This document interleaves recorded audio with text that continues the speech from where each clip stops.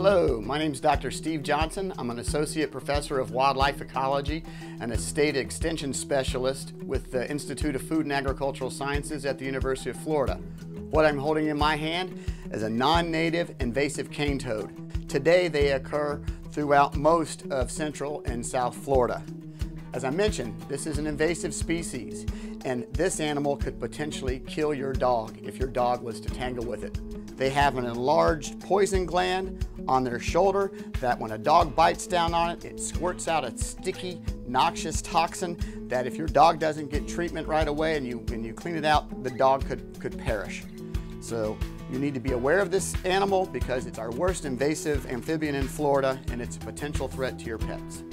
For more information on cane toads, see the fact sheet at the web address on your screen or visit your local county extension office.